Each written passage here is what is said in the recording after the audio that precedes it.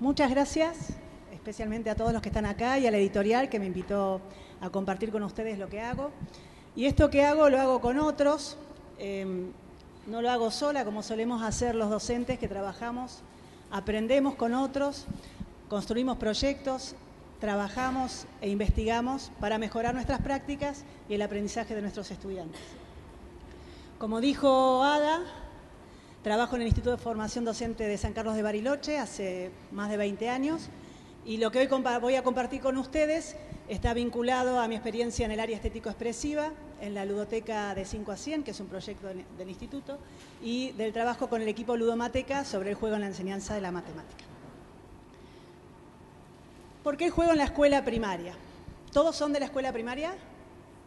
¿Sí? ¿No? Bien. ¿Por qué el juego en la escuela primaria? Hace unos años, trabajando con Gabriela Fernández Paniza, una compañera del instituto, eh, hicimos una investigación para indagar, explorar qué pasaba con el juego en la escuela.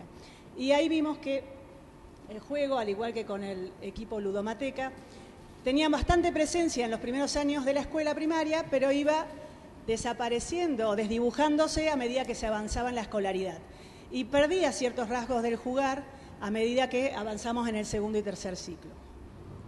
Pero, si bien se define que los niños son de 18 años o menos, el derecho a jugar es de todos. Así que las voy a invitar y los voy a invitar a jugar. Fíjense si tienen a alguien cerca de a dos, si pueden jugar de a dos, a un juego que voy a mostrar una imagen y van a saber de qué se trata. ¿Saben de qué se trata? Vamos a hacer partidas a tres ganados. ¿Sí? ¿Tienen todos con quién jugar? Sí, hacen un, dos, tres, piedra, papel y tijera y vamos a ver a tres partidas ganadas. Porque algo nos pasa cuando aceptamos un cierto desafío de jugar. ¿Y qué es el desafío? El desafío es algo que yo sé que puedo hacer, pero que no es tan fácil como para que no tenga ganas, ni tan complejo para que la abandone si no la abandono y no me animo a probar. ¿sí? Entonces, cuando hay un cierto desafío que yo tengo ganas de, tomar parte y tengo a otro con quien jugar, me genera cierta emoción. ¿sí?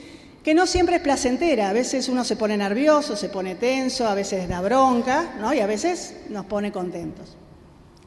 Otra característica de lo que pasó es que implica arriesgarse. Uno le dice a alguien que conozco o a alguien que no conozco, ¿querés jugar? Recién, no sé si jugaron con alguno desconocido, todos vinieron con alguien, pero uno se anima a mostrarse, a perder o ganar en este caso, a explorar posibilidades ¿sí? y a, también a equivocarse. Ese jugarse es propio del jugar porque nosotros nos ponemos en juego. No, hay jugar si uno no está dispuesto a hacerlo. Puede ser que parezca desde afuera que uno está jugando, que hace, yo puedo hacer el gesto, pero que no me atraviesa, no siento nada. Hago como si estoy jugando, pero genuinamente no, me, me pasa nada desde. Y en este caso que juego con otro, hay un momento de encuentro, hay un momento mágico donde hago sintonía con el que está al lado mío y construye y reconstruye cierto sentimiento de confianza que puede ser una condición para jugar con otro, porque no nos animamos a jugar con cualquiera a veces, o cuando yo siento que ya puedo generar esa confianza, me animo y se va profundizando ese sentimiento. Bueno, ¿qué significa plantear el juego como derecho en la escuela primaria? Por un lado, buscar instancias para jugar, tanto dentro como fuera del aula, poner a disposición materiales, o también ideas, porque no todos los juegos tienen materiales, poner a disposición compañeros de juegos, cuidar las condiciones para poder jugar y también conocer propuestas. es pensar también en jornadas especiales donde invitemos a jugar a las familias, a las escuelas vecinas, a toda la escuela, pensar en juegotecas, ¿sí? pensar en, habilitar espacios dentro de la escuela para poder eh, promover también este derecho. O sea, lo más valioso de jugar es justamente cuidar que cuando los chicos juegan en la escuela, uno esté atento a lo que sucede allí, que realmente uno esté atento en cómo se encuentran, en que estén atentos a, cuidar eh, ese espacio de, que algo me suceda. ¿sí? Porque hay emociones que a veces también se desbordan, ¿no? De verdad, ¿de qué manera cuido cómo, cómo vincularse con el otro? también vamos pensando en maneras de jugar, de qué modo, ¿no? como dice Víctor Pavía, el modo lúdico. Y es pensar en juegos que sean inclusivos, es decir, que todos puedan hacer algo, ¿sí? Que todos, que con los conocimientos informales que tengamos podamos participar, algo podemos hacer. Juegos donde eh, cuando hay materiales sean de diseño universal, es decir, que haya menos barreras perceptivas y motrices para que todos puedan acceder, tamaños adecuados de los materiales, texturas, colores. Juegos que planteen otras formas de interacción. Estoy mirando. ¿Se pueden poner de a tres? De a tres ahora. Vamos a hacerle una pequeña variación al juego de recién. El objetivo ahora es que los tres coincidan en el mismo gesto. Es decir, hacemos un, dos, tres, piedra, papel y tijera, cada uno hace el gesto que quiera y vamos a ver en el tiempo que ahora, cuando digo ya empezamos a jugar, cuántas veces los tres coinciden en el mismo gesto. Algo como hicieron ustedes recién, pero ahora de a tres. ¿Qué pasó cuando coincidieron? Se escuchaba, se escuchaba cierto alboroto, ¿no? Bueno, el, plantear juegos también con otra forma de interacción es plantearlos en forma cooperativa, es decir, que todos en este momento tuvieron el mismo objetivo y se pusieron contentos cuando coincidieron, ¿sí? cuando todos coincidían en el mismo gesto. No se trata de eliminar los juegos competitivos, eh, pero sí presentar, ofrecer otras alternativas para jugar. Y una de ellas es esta cooperativa donde el objetivo es común y todos ganan si lo alcanzan o todos pierden si, si no lo alcanzan. También pensar en juegos que propongan modos de jugar más creativos, es decir, donde uno ponga en juego el pensamiento divergente, distintas soluciones, distintas formas, donde los chicos puedan inventar las reglas, donde podamos cambiar eh, el escenario de juego. ¿Se animarían a hacer una tijera con todo el cuerpo? ¿Sí? ¿Cómo harían una tijera con todo el cuerpo? ¿Alguien se anima? Bien, ahí está Cristina, muy bien. ¿Sí? O un papel, ¿sí? Entonces involucra ya, ya todo el cuerpo. O formas, saben que existe una forma de jugar al piedra, papel y tijera que tiene dos objetos más. Uno es Spock, ¿conocen a Spock? De la guerra, de, no, de la guerra de Star Trek, casi me van a matar, que tiene un gesto, y el lagarto, son con cinco. Si alguno es fanático de Big Bang Theory, seguramente lo ha visto jugar. Eh, es decir, donde haya un lugar para crear nuevas posibilidades dentro del mismo juego. No solamente como lo conocemos nosotros, sino estar atentos a lo que conocen los chicos, las familias, y estar atentos a lo que va sucediendo mientras están jugando. Y por último, también otra, otra cosa para estar atentos es eh, con qué materiales pueden jugar, como dije antes, sin materiales, o bien con materiales reciclados. ¿sí? Con, con las cosas que solemos desechar se pueden transformar y convertir en motivos para jugar. A mí me lo enseñó mi abuela, ¿sí? que era un juego que algunos conocen, ese no es el que vamos a hacer ahora, que se jugaba de a dos. Y antes de venir lo pude jugar, antes de estar acá lo jugué con Cristina un rato, que recordamos las dos cómo se jugaba. Cuando me mudé hace 26 años a Bariloche, descubrí que yo pensaba que este era el único juego de hilos, porque no conocía otros, que existen muchos juegos de hilos distribuidos por todo el mundo.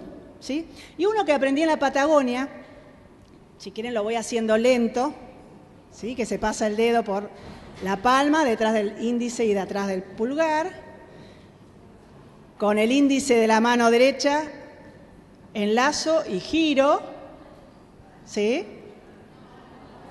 Va de nuevo, con el índice de la mano derecha enlazo y hago una vueltita, así queda cruzado, ¿sí?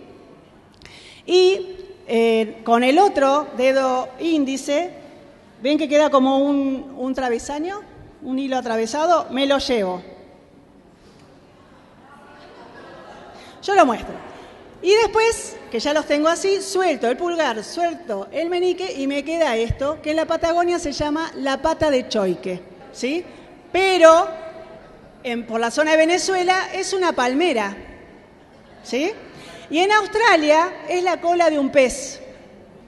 Cuando remontábamos los orígenes, algunas culturas jugaban a hacer estas figuras para acompañar los relatos. ¿sí? Tenían como distintas, distintos temas, distintos objetos que acompañaban el relato oral. En otras culturas también se intentaba hacer cada vez figuras más complejas eh, más artísticas, más elaboradas, con mayor cantidad de pasos, y se emplea también la boca y los pies para algunas figuras. ¿sí?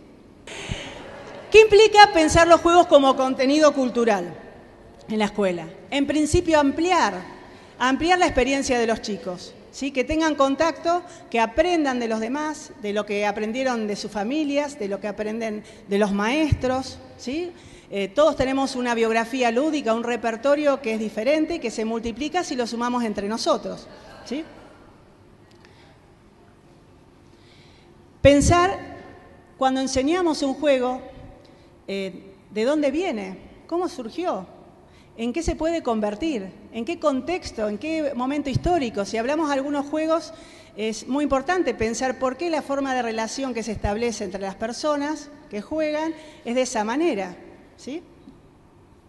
¿Cómo se distribuye en el planeta, en el planeta entre los distintos continentes, y qué variantes tiene? Hay muchos juegos como recién la pata de choique que tienen diferentes nombres, depende de la región en donde surgen.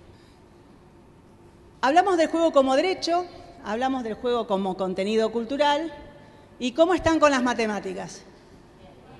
¿Bien? ¿No, escuché? Sí, bien todos. Bueno, vamos a hablar también del juego como mediador de aprendizajes. ¿sí?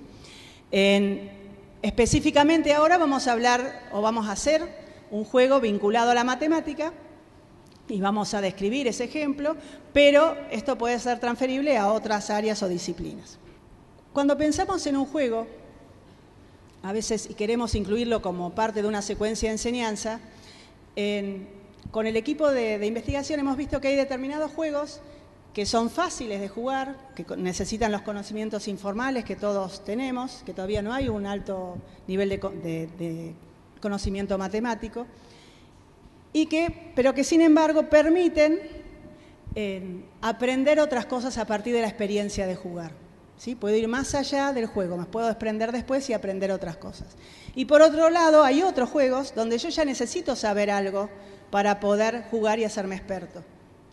Por ejemplo, ¿qué, juego conocen en el ámbito de la matemática que necesito ya saber algo para poder jugar? La batalla naval, ver las coordenadas, la escoba de 15, que tengo que ver cómo descompongo el 15 con distintos números. Alguien que no lo sabe todavía no puede integrarse al juego, necesito ya saberlo y después puedo seguir evolucionando y hacerme más experto. Cuando selecciono un juego como mediador de aprendizaje, tengo que pensar en hacer un análisis tanto didáctico desde la matemática, en este caso desde la, materia o disciplina que se trate, como desde el juego. ¿Sí? ¿Cómo agrupo? ¿Qué materiales necesito? Eh, ¿Cuáles son las partes difíciles de esto? ¿Qué procedimientos y qué contenidos están implicados? ¿Cuáles podrían aprender después? ¿Sí? ¿Cómo hago ese recorrido? Y el juego no lo pienso solo, no es una propuesta que la pienso aislada de una secuencia, de una secuencia de clases, de una secuencia de otras actividades. Y ahí es en qué momento lo pongo. Lo pueden jugar varias veces, lo juegan solamente una. Hay una versión para principiantes. ¿Cómo hago el enlace entre una actividad y otra? ¿Qué lugar tiene el error? Se pueden equivocar y pueden seguir jugando. Después puedo recuperar la experiencia de jugar. ¿Cómo hago la gestión de la clase? ¿Cómo distribuyo el espacio? ¿Cómo reparto los materiales? ¿Qué tiempo le doy para explorar los distintos materiales? hay un tiempo previo que demanda cuando incluimos un juego, que justamente amigarse con el material, con la lógica de las reglas, con poder probar otras cosas, ¿sí? que uno también lo tiene que tener eh, pensado. Y estar atentos una vez que se lleva a cabo la propuesta en lo que sucede ahí. Cuando tengo que intervenir, cuando los dejo jugar, puedo parar y volver a jugar. Comentarios de los chicos me sirven para repreguntar y ponerlos en un conflicto. ¿sí? Y para ir cerrando, no sé cómo estamos en tiempo, este es un cierre que se abre o que se cierra. Cuando pensamos el juego como mediador de aprendizaje, no tenemos que olvidarnos que es un derecho. Entonces es muy valioso cuidar ese momento de juego, cuidar ese momento de contacto con los otros, eh, promoverlo y después de jugar, son como momentos separados, los vinculo con, los aprendizajes. Y por el otro lado, no olvidarnos que es un contenido cultural, que queremos ampliar su, horizonte cultural, que haya un diálogo entre las distintas culturas que conviven en la escuela y que haya un aprendizaje mutuo y una enseñanza mutua. Bueno, muchas gracias.